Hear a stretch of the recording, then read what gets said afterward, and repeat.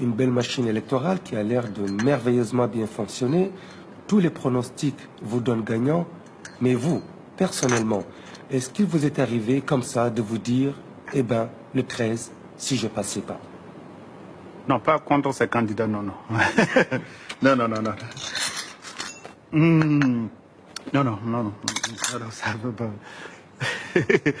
pas à ces élections. Plus tard, peut-être.